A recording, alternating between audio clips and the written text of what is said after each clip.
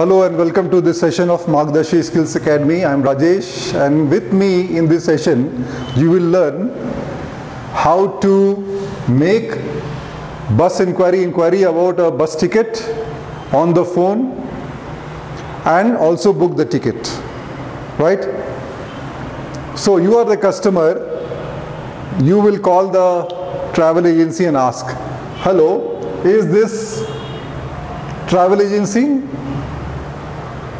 It can be any name. Is this so and so travel agency?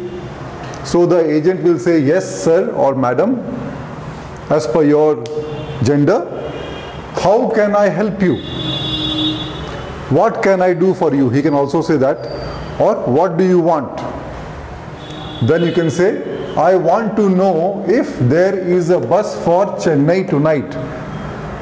I want to know if there is a bus for Mangalore, for Chennai, for Coimbatore, for Trichy, anywhere. I want to know if there is a bus for Chennai tonight. Suppose this is an example. Agent will say, yes sir or madam, we have a sleeper coach for Chennai at 9 pm. Customer, fine. Can I get a seat please?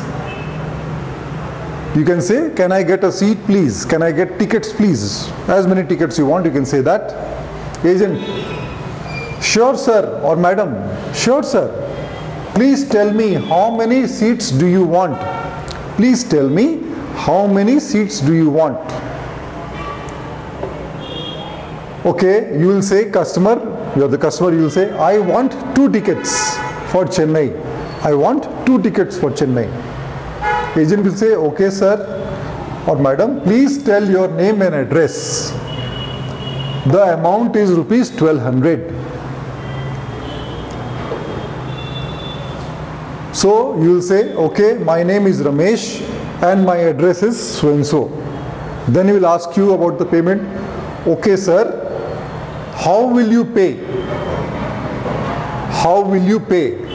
Will you pay by cash, card, or other means? Customer, okay, I will pay by card. I will pay by credit card or debit card. Agent, no problem, sir. Please pay now and please come to the bus station on time. I have booked your ticket. Then you say thank you and end the conversation. This is the way to have a very decent, direct and simple conversation about your inquiry and bus ticket booking. Thank you for watching this session. Keep watching this session. We give you small tips in future and see you again. Bye.